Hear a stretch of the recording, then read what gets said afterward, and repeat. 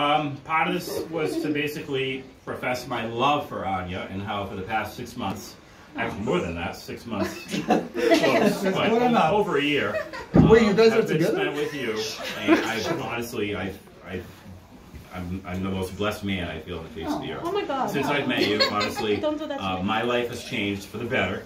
Um, and you complete me. And the only thing I can think of is I'm hoping I complete you. I don't, I don't know, but um, I, there's no one that I would rather more spend the rest of my life with, growing old, than you.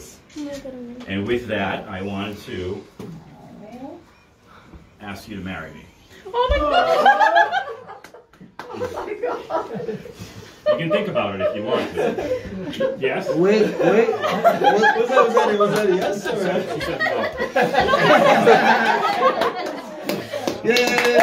Yay!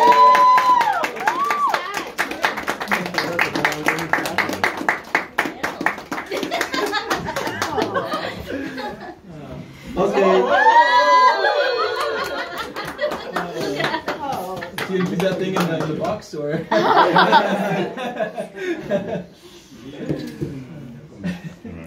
Ania, now it's your turn.